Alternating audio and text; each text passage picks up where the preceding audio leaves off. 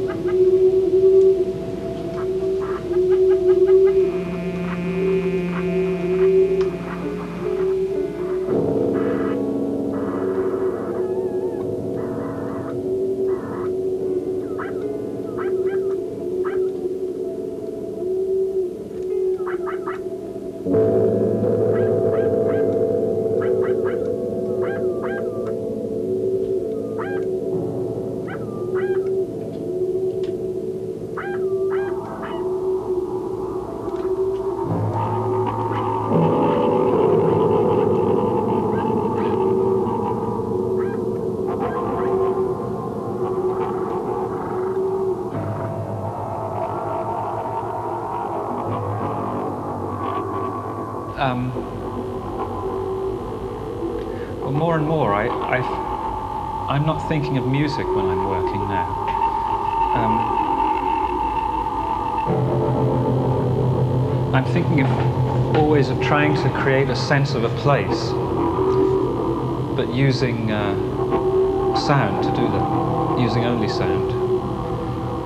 So I'm, I'm always thinking in terms of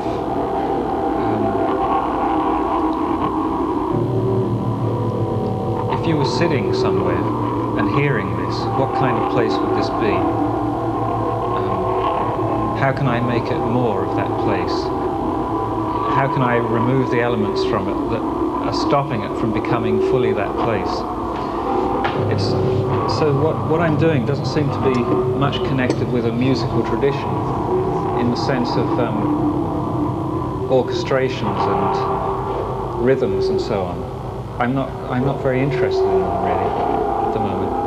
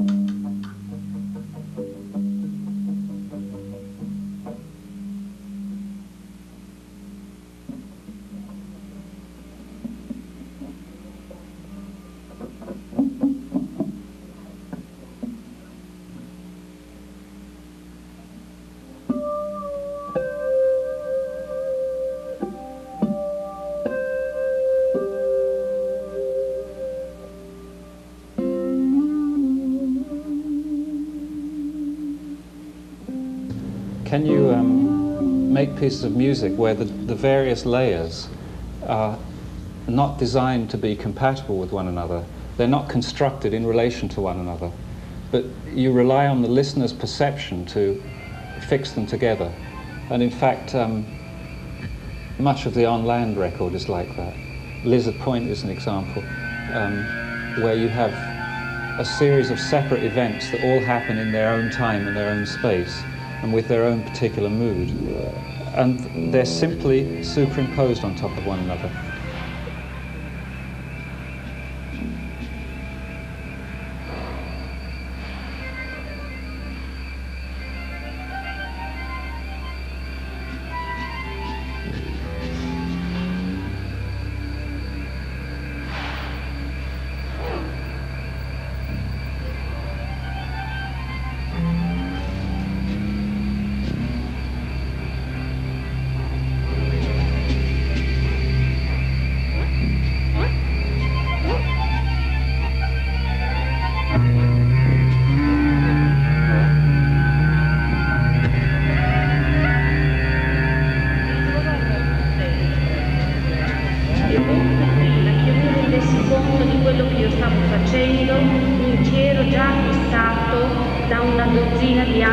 terreni. Era come se, sempre concentrando la mia attenzione verso altri obiettivi, io continuassi ad indietreggiare e inavvertitamente a inciampare in questo. L'idea di creare della musica che in qualche modo fosse in relazione a un um, senso di... So thank you very much uh, to the organisers as well for inviting me here.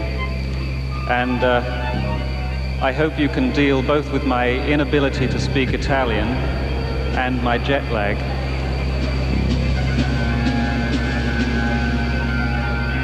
I don't think I can speak until you quieten down a little bit because I, I can't hear my voice very well because of the echo in the building. I know it's very hot and you, you're probably very uncomfortable, but you only have to listen.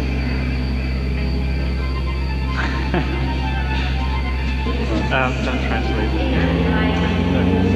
Um, let me tell you, this is the inferno here.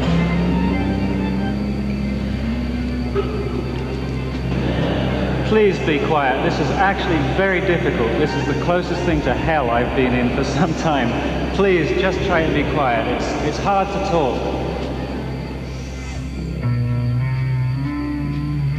Your mind makes connections between things that aren't or are not causally connected at all. I noticed this a lot when I was working with um, loops. I would set 16 tape recorders running, each with a loop, a long loop on them, on it. Um, and clusters of events would happen quite accidentally, you know, as the loops happen to coincide in different ways. Um, the interesting thing was that those clusters sounded so well orchestrated, you know, they, they sounded like they were really supposed to be that way. Um, this is one of the attractions of working with chance, that you know that your own perception is a strong enough organizer of patterns to find some kind of um, framework even if there isn't one there. Chance has its own sound, you know, and you can get tired of it. Um, if everything is equally unpredictable, then by the same token it's equally predictable. Uh, there, there aren't surprises in chance, really. I feel moment. So I wonder if I should talk more about painting. I feel I feel much more like a landscape painter now than anything else. I feel close to people like Cezanne and early Kandinsky when, when he was still in his semi-pictorial stage, like 1906. In fact, I feel very close to 1906 altogether. That's when a lot of the things I like best were done. Um, Cezanne's Mont Sainte-Victoire pictures and the early Kandinsky landscapes. What's interesting about those pieces is that they are, they are poised on an edge of abstraction, which I enjoy very much.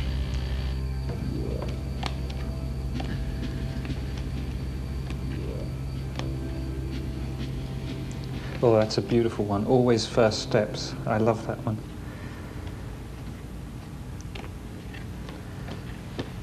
The idea being that whatever point you are at, you're always at the beginning of something. You're always just starting. So even when you're right at the end of a piece of work, it's just the beginning of something.